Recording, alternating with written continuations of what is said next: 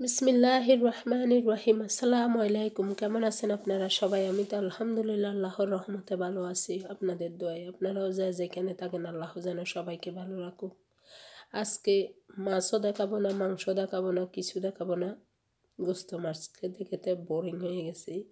আজকে শুকনি দিয়ে আলু, বেগুন, টমেটো রান্না করব। এটাও কিন্তু অনেক অসাধারণ মজা। এটা দিয়ে অনেক অনেক ভাত খাওয়া যায়, এক প্লেট ভাত খাওয়া যায়, এই যে, এই শুকনিটা। আসলে এটা অত শুকনা না, এটা ভিজা মানে ভিজিয়ে রাখলে কিছুক্ষণ একদম মূল্যে মাছের মতন, একদম ছোটো মূল্যে মাছ আর কি, কাসকি মাছ যাই বলেন। আচ্ছা আমি অনেকগুলা ভিজিয়ে দিব একদম প্রায় এক মুঠের মতো, বেশি করে ভিজাচ্ছি আমি। কেমন যেন মনে হচ্ছে আজকে মানে বেশি করে এগুলাই রান্না করে, এগুলা দিয়ে ভাত খাইতে, মাছ মাংস খাইতে খাইতে বোরিং হয়ে গেছে। মনে ইচ্ছে করে না এগুলা দিয়ে ভাত খাইতে আর। ভিজিয়ে দিলাম। আমি দুধটাকে দেখাচ্ছি যে কম লাগতেছে কিন্তু অনেক মাছ এখানে। আমি আরও দিচ্ছি। এই মাছটা আমার বাচ্চারাও লাইক করে এই জন্য ছোটো মোলে মাছ। এই যে দুইয়ে আমি একদম বিছিয়ে রেখেছিলাম কিছুক্ষণ কুসুম গরম গরম পানির মধ্যে।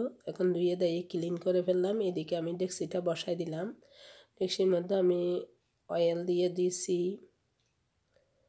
অয়েল দিয়ে এই যে পেঁয়াজ, আদা, রসুন কষা আসার পর আমি মাছগুলো আগে ঢেলে দিলাম। ঢেলে দিয়েছি এই জন্য যে মাছগুলো একটু তেলের মধ্যে কষিয়ে ফেলব। যেহেতু শুকনির গন্ধটা চলে যায়। শুকনির গন্ধটা তো লাগবে না, আমি গরম পানি পানি টানি দিয়ে লেবুর রস টস দিয়ে ধুয়েছি এখন আমি তেলের মধ্যে একটু নেড়ে ছেড়ে দিব। তো আমার ভিউয়ার্সদের কাছে ছোট্ট একটা রিকোয়েস্ট যারা এখনও আমার চ্যানেলটি সাবস্ক্রাইব করেননি, তাদের কাছে আমার অনুরোধ থাকবে যেন আমার চ্যানেলটি সাবস্ক্রাইব করেন। আর যারা অলরেডি সাবস্ক্রাইব করে দিয়েছেন, তাদেরকে থ্যাংক ইউ ধন্যবাদ দিয়ে ছোট করব না। তাদেরকে অনেক অনেক ভালোবাসা রইল। এই যে এখানে মরিচ, হলুদ মশলা পরিমাণ মতো, এই চামচ অনুযায়ী পরিমাণ মতো আমি দিয়েছি। আমি অর্ধেকটা বেগুন নিয়েছি।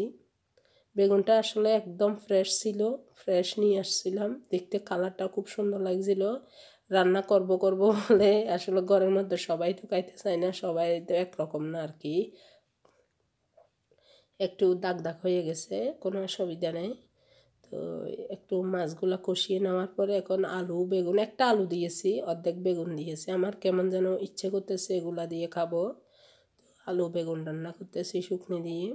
অনেক মজা হয়েছে, আপনাদেরকে বলে বোঝাতে পারব না। কারও যদি ভালো লাগে এরকম রান্না করতে পারেন। সবাই পারি আমরা রান্না করতে, এরকম লোভনীয় রান্না। খাইতে ইচ্ছে করে, মাঝে মাঝে।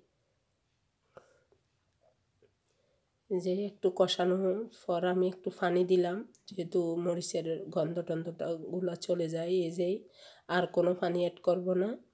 হয়ে গেল, আমি এটাতেই মানে ডেকে দিব কিছুক্ষণ পর। টমেটোটা একটু পরে দিব, টমেটোটা বেশি সিদ্ধ না হলে আমার থেকে ভালো লাগে কাঁচাই কাঁচাই টাইপের থাকলে আর কি, কাঁচা কাঁচা টাইপের ভালো লাগে এই যে। হয়ে গেল। আমার চুলাটা অলরেডি অফ করে দিয়েছি। এই পর্যায়ে মিডিয়াম আছে আছে। এই বসাই দিলাম টমেটো আর কাঁচামরিচ বসাই দিব। এই জন্য বসাই দিব যে যে মানে তাফে টমেটোটা গলে যাবে। এখানে সবজি বলেন, টমেটো বলেন পটেটো বলেন, যে কোনো কিছু মানে বেশি সিদ্ধ করা লাগে না, সিদ্ধ হয়ে যায় অলরেডি এটা আমি বড় সাইজের কাঁচামরিচটা মানে একটাকে চার পাল্লা করে দিলাম। এই যে হয়ে গেল আমার মজাদার শুকনির আলু বেগুন রান্না। টমেটো দিলাম। অনেক দেখতে যে এরকম সুন্দর, খেতেও সেই রকম সুন্দর হয়েছে। আমি এক প্লেট ভাত খাইছি, আপনাদেরকে বলে বুঝাতে পারব না। লোভনীয় একটা রান্না।